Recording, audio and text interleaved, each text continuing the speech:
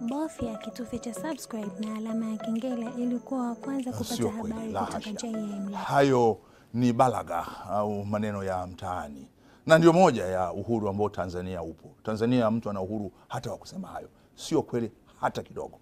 Miongoni mwa nchi sio bara la Afrika duniani ambazo uhuru wa vyombo vya habari uko juu, unaheshimiwa na unalindwa, ni kuhakikishie ni Jamhuri ya Muungano wa Tanzania. Tukizungumzia swala la Tanzania, inaonekana kuna hofu kubwa sana uh, miongoni mwa waandishi wa habari hasa wanapoikosoa serikali. Si kweli, wenye hofu wana hofu zao, lakini nikuambie soma magazeti ya leo yote, kwa sababu Tanzania mpaka sasa tuna magazeti yanayotolewa kila siku 226 na ukiangalia eh, wingi wa vyombo vya habari, aina ya vyombo vya habari Tanzania, vyote vina uhuru. Yako magazeti ya, ya sitaki kutumia lugha ya mtaani, magazeti ya burudani, ya starehe, ya uwazi, ya Ijumaa eh, yako magazeti ya kidini eh, Alhuda eh, eh, Imani eh, eh, eh, Alnur eh, Upendo eh, Kiongozi, Msema Kweli yako magazeti ambayo kila mtu anafahamu Tanzania. Eh, Tanzania Daima ni la Chadema, Uhuru ni la CCM, na yote kila siku yanaandika na yanatoa habari. Lakini Iko Mwananchi ambao mimi nilipata heshima ya kuwa katika bodi ya uhariri ya Mwananchi, ambao linachukuliwa kuwa ni gazeti ambalo liko objective, lakini ni gazeti ambalo linaikosoa serikali mara nyingi na bado linachapishwa. lakini ukiangalia eh, kwa awamu nyingine zilizopita na sasa, hata jinsi taarifa yenyewe inavyoandikwa Kwanza ni haina kusahihishe, mimi nilifanya kazi awamu ya kwanza, magazeti yalikuwa mawili tu, ilikuwa Daily News na Uhuru.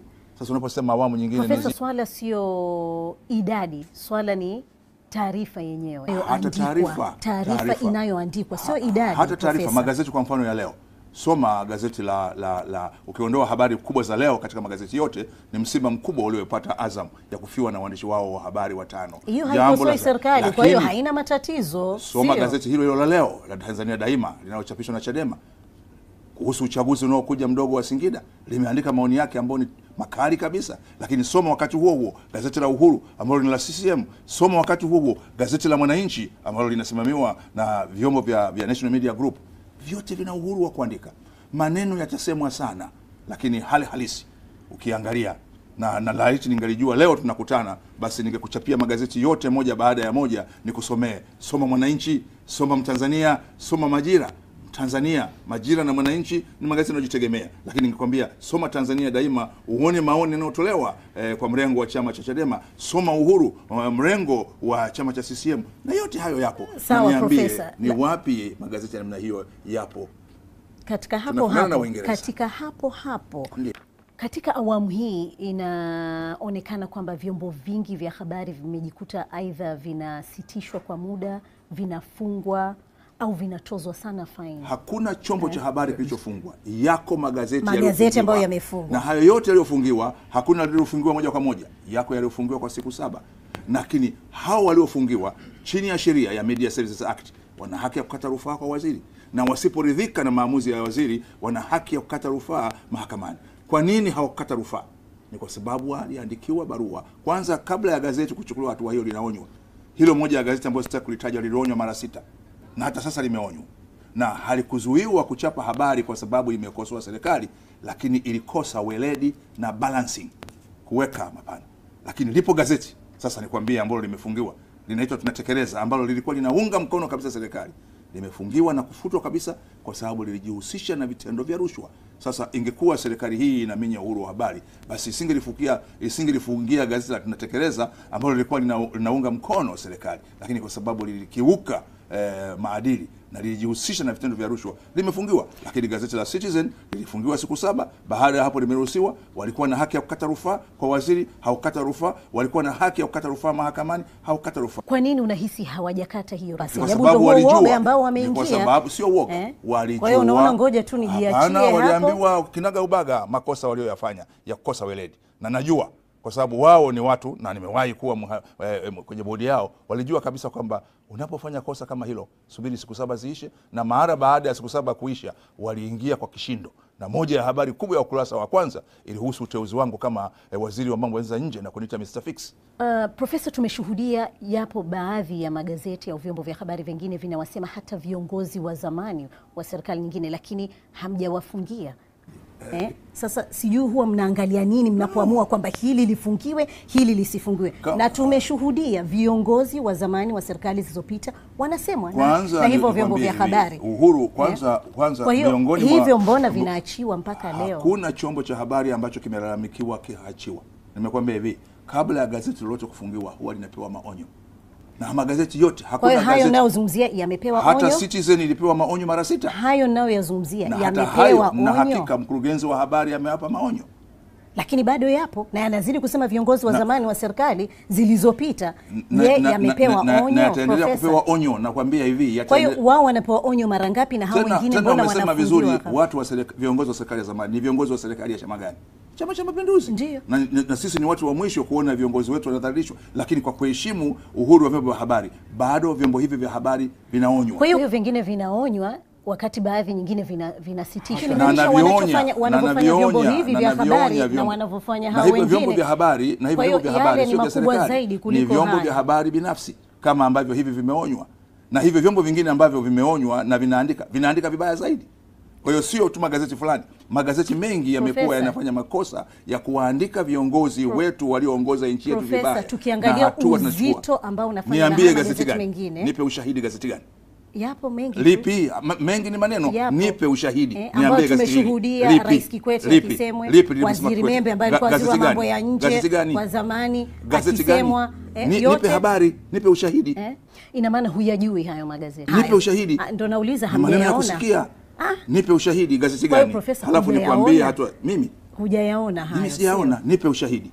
mnaji bila shaka mnajipambanua kama serikali ya watu ya watu na wanyonge vile vile, lakini ni vigumu sana kupata habari kwa sasa hivi hasa uh, kutoka kwa watumishi wa umma. Ndio maana eh, nilikuuliza mwanzo, kuna Tu- hofu Hapana, serikali imetunga sheria inaitwa Access to Information, sheria ambayo inawapa wananchi wana- wananchi haki ya kudai habari. Na mimi mara tu baada ya kuteuliwa kuwa waziri wa katiba na sheria, nafasi ambayo nimehudumu nime, nime, nime kwa mwaka mmoja na miezi kumi na moja, moja ya mambo niliyoyafanya ni kuhakikisha tunatunga kanuni.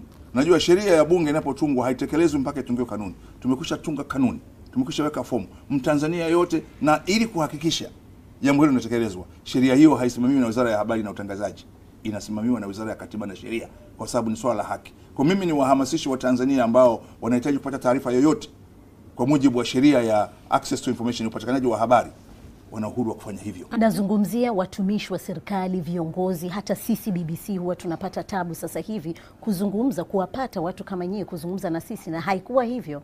Inakuwa, Watumishi wa inakuwa serikali ngumu sana wanazungumza kuwapata. sana na vyombo vya habari, na kama hawapatikani na, na wahimiza wafanye hivyo. Mimi nazungumza vyombo vya habari, mawaziri wanazungumza na vyombo vya habari, rais anazungumza na vyombo vya habari, na kila mtu anazungumza na vyombo vya habari. Kwa hiyo waandishi wa habari wana njia nyingi za kupata habari, na hakuna mtumishi wote wa serikali kwa mujibu wa kanuni za serikali ambaye amezuiwa kutoa habari. Lakini ifahamike, ndani ya mfumo wa serikali sio kila mtu ni msemaji wa serikali.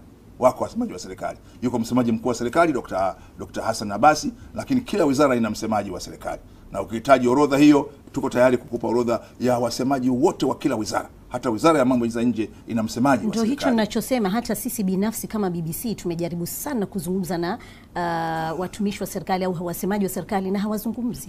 Wasemaji wa serikali Naam. basi nakuhimiza wapigie tena, na wakishindwa kuzungumza nipigie simu na mimi nitakwambia mwingine, au mpigie simu waziri wa katiba na sheria, kwa sababu ni haki yako kupata habari chini ya sheria ya Access to Information, sheria namba saba ya mwaka 2016. Una haki ya kupata hizo habari chini ya kanuni, ingawa kuna mipaka. Kuna habari ambazo huwezi kupewa, zile zinazohatarisha usalama wa taifa, zile zinazohusu ulinzi, ambao pia hapa katika mataifa makubwa huruhusi kuzipata, lakini habari nyingine zozote zile zinapatikana. Katika sheria ambazo mmebadilisha, kuna hii sheria lazima chombo cha habari kila mwaka kiombe upya kibali. Eh, kwa nini? Kwanza, vyombo vya habari vina sura zifuatazo. Moja ni biashara, kwa sababu kama ni biashara lazima kila, kila mara huyo mtu aombe leseni ya kuendesha biashara yake. Pili, vyombo hivi vya habari ni vyombo muhimu sana, kwa sababu ndivyo vinavyoweza ku, ku, ku vinavyoweza ku, ku, ku, ku, ku, kuwafanya watu waelewe mambo wafanye hivyo. Kwa hiyo kuna umuhimu wa kuhakikisha kwamba kila mwaka vinaomba leseni. Lakini la tatu, vyombo vya habari ni swala la taaluma ni lazima anayetoa leseni ajihakikishe kwamba chombo hicho cha habari kweli kina watu wenye taaluma eh, wanaostahili kuongoza vyombo vya habari. Kuna nchi yoyote ambayo wana sheria kama hiyo kwamba kila mwaka unaomba kibali? Uh, mimi sijui, lakini kwa Tanzania hilo limeonekana kuwa ni mwafaka na ni busara zaidi. Tukizungumzia usalama wa waandishi wa habari, kuna mambo mengi ambayo yametokea waandishi wa habari, na moja ni la kupotea kwa Azori Gwanda ambaye alikuwa yupo kazini akiripoti masuala ya mauaji Kibiti. Imefikia wapi? Niseme kwamba hali ya Kibiti ilikuwa tete, na ni jambo ambalo katika maisha yetu yote toka tupate uhuru hatujawahi kupita katika kipindi kigumu kama kile, na sio Kibiti tu, Mkuranga na Kibiti watu wengi wameuawa, tena waliouawa wengi ni polisi. Wameuawa, viongozi wa serikali za mitaa wa Chama cha Mapinduzi wameuawa, na Azori Rwanda, Rwanda eh, eh, eh, Azori amepotea. Lilikuwa ni hali ambayo hatukuizoea, hali ambayo hatukuitarajia. Serikali imechukua hatua ya kuhakikisha kwamba usalama unarudi katika maeneo yale, na sasa Rufiji kunaendeka, kunafikika, watu wanaishi, sababu ikifika mahali watu walikuwa hata uh, hawathubutu kwenda Rufiji, au kama wanakwenda Rufiji wanatamani wawe na, na, na baadhi ya watu hao si watu wazuri kabisa, na sasa tumeona matukio hayo yanatokea sana kaskazini mwa nchi ya Msumbiji Lakini, na wiki mbili zilizopita mkuu wa polisi eh, raia tena wengine tisa wa Tanzania wameuawa huko Msumbiji. Ni, ni, ni hali ambayo imejitokeza katika dunia hii isiyokuwa ya kawaida, lakini nikuhakikishie serikali imechukua hatua za kuhakikisha kwamba tunaweka usalama, sio waandishi wa habari tu, usalama wa polisi na usalama wa raia wote, ili kuhakikisha matukio kama hayo yanapotokea, basi tunakuwa na uwezo Naam, lakini Azori alikuwa na ripoti kuhusiana na matukio hayo, lakini kapotea na mpaka leo serikali na, taarifa haijatoa pol- na polisi walikuwa wanalinda katika maeneo hayo ili Azori asipotee, lakini na wao wameuawa. Kwa hiyo si jambo ambalo eh, ni jepesi kama unataka kulisema. Azori amepotea, lakini polisi waliokuwa wanalinda eneo hilo ili Azori na wengine wasipotee wameuawa, tena wameuawa kikatili. Kwa hiyo uchunguzi umefikia wapi mpaka sasa hivi, au hamna uchunguzi kabisa?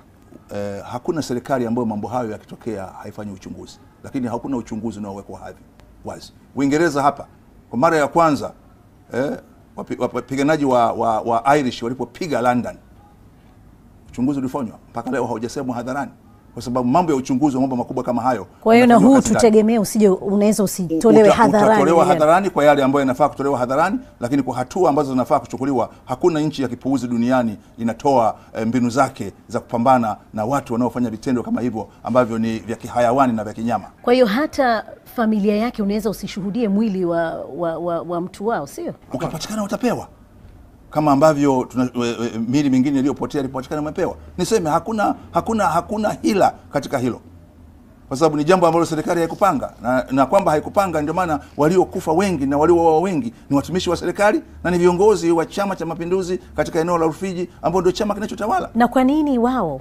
Mmejua kiini? Kinachunguzwa